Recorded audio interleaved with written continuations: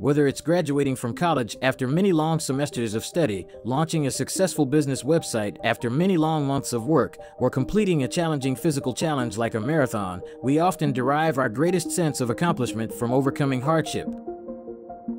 To finish a hard but worthwhile task, you need a lot of toughness. People think that being tough means having a lot of confidence, being strong, and showing off. But none of those things are really tough. The author Steve Magness looked into the science of toughness and found that the traditional toughness maxims and the science of toughness are very different.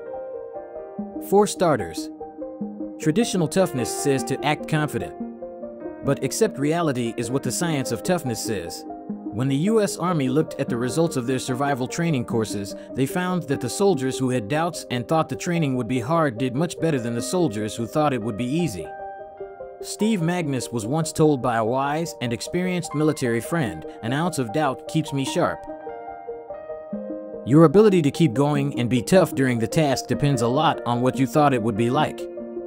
If you don't give the task enough thought, you'll panic when it turns out to be harder than you thought.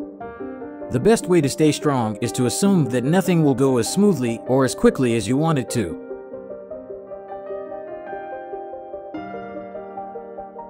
However, with enough time and effort, you can do more than most people think is possible. In other words, mix pessimism about the short term with optimism about the long term. Ignore the pain and keep going, says the traditional way to be tough.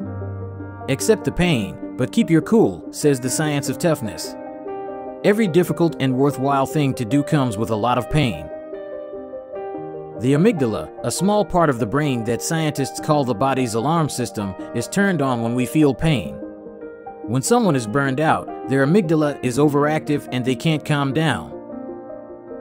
To avoid getting burned out and giving up, we need to understand our internal alarms, turn them off quickly, and make smart decisions.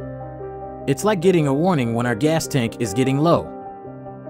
The alarm tells us important things that we should act on, but we don't need it to keep going if we have enough gas to get to the next gas station.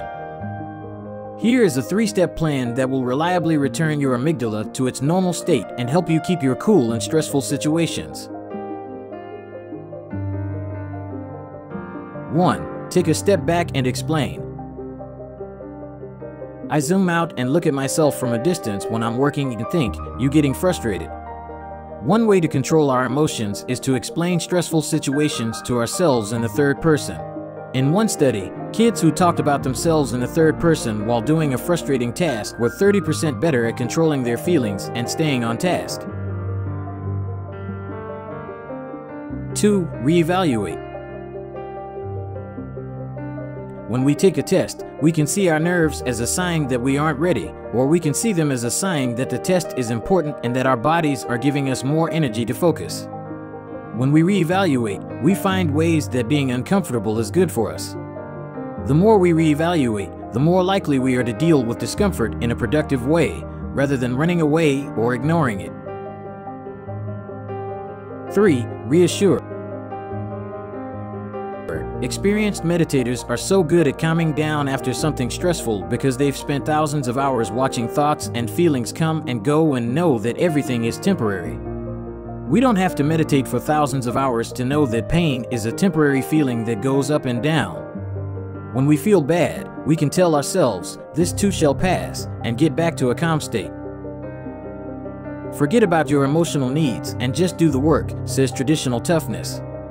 If you meet your psychological needs, you will work harder than you ever have, says the science of toughness. People have three psychological needs autonomy, competency, and belonging. If you can give yourself a sense of independence, competence, and belonging while doing something hard, you will have a much better chance of finishing it. Make yourself feel independent by recognizing that you always have a choice. Even if someone tells you what to do, you can decide how to think about it or not do it and deal with the results. Feeling like you're making progress all the time will give you a sense of competence. Think about the work you've done in the past few days that got you where you are now. Then, think about one small thing you can do in the next 5 seconds to keep moving forward. For a runner in the middle of a marathon, that means thinking about the miles he already run and then doing his best with the next few steps. Remember the people or mission you are fighting for to give yourself a sense of belonging. During a hard battle, a soldier keeps his mind strong by fighting for the soldiers next to him. We've reached the end of the video. Thank you for staying with me and watching until the end. If you want to say something or share a thought, please do so in the comments section down below. Lastly, don't forget to like this video and share it with your family and friends.